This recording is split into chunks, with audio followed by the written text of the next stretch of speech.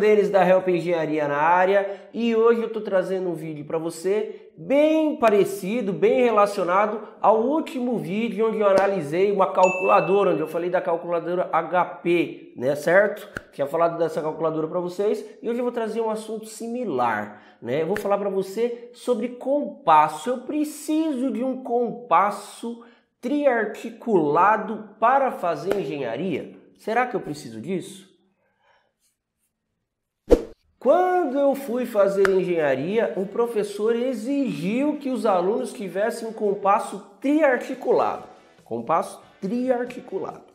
E antes de eu dizer para você o porquê da minha resposta a respeito disso, eu vou explicar um pouquinho da minha trajetória, tá? Para quem não conhece a minha história aí, rapidamente, para você entender o porquê que eu tomei essa decisão de Comprar ou não comprar o compasso triarticulado? Indicar ou não indicar o compasso triarticulado? Bom, aos meus 14 anos eu fiz um curso de aprendizagem industrial no Senai, o famoso CAI.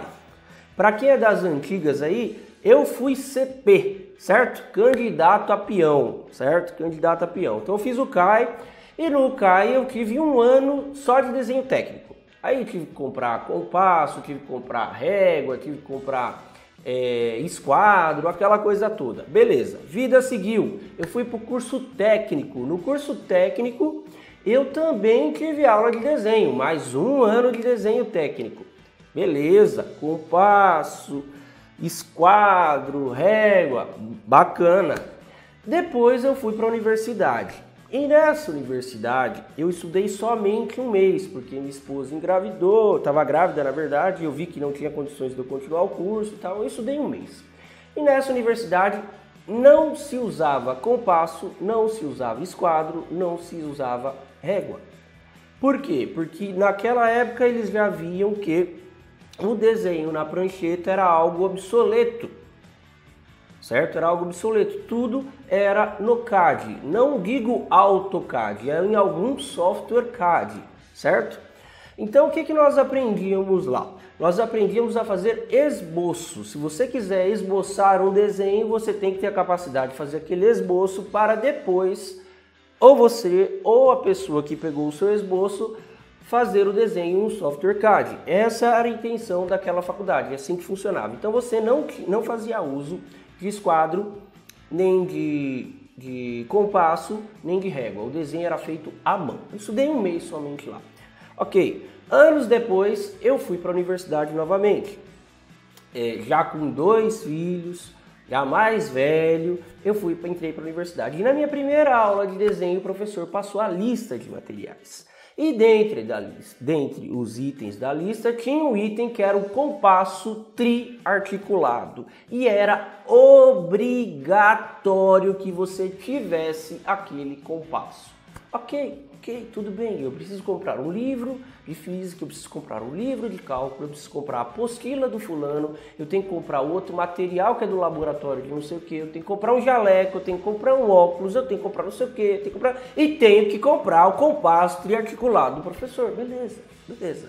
E eu fui ver quanto custava a listinha do professor de desenho, né? Além da apostila de desenho, todo o material, e eu fui ver lá o compasso triarticulado naquela época custava cerca de 70, 80 reais. Naquela época, a marca que ele, que ele ainda dava uma marca, tinha que ser da marca XYZ lá, certo?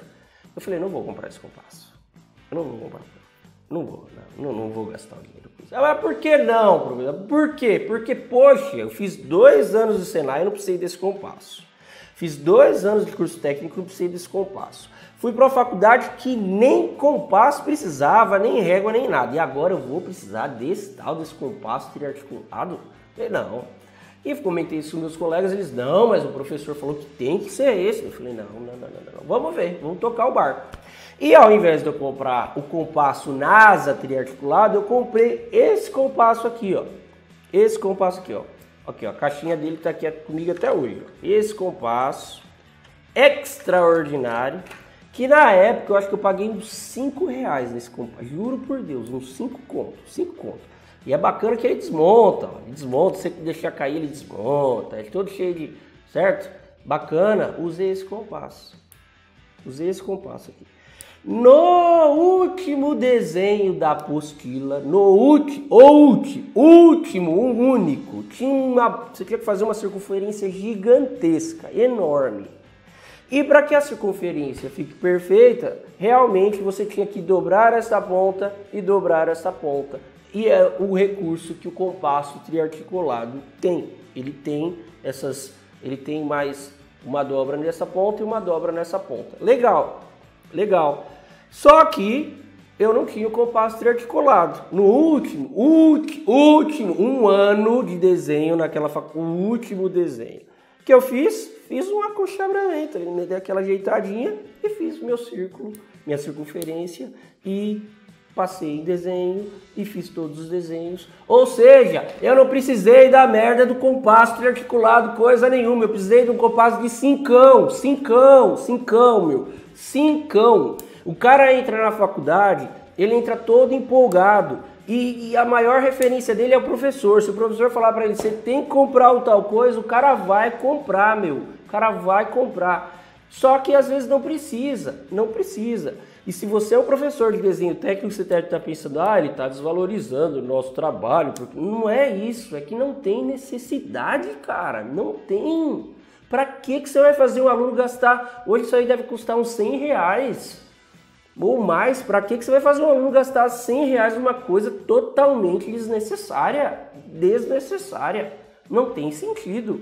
Pô, tu quer um compasso? Compra o compasso se quiser lá, velho. De 5, de 10. Pô, se fosse uma coisa que fosse usar lá vários desenhos o tempo todo, bacana, aí precisava, mas para um desenho, para um desenho, certo? O meu esquadro tá aqui até hoje. E não é um esquadro que o professor também queria, porque tem um esquadro top, né?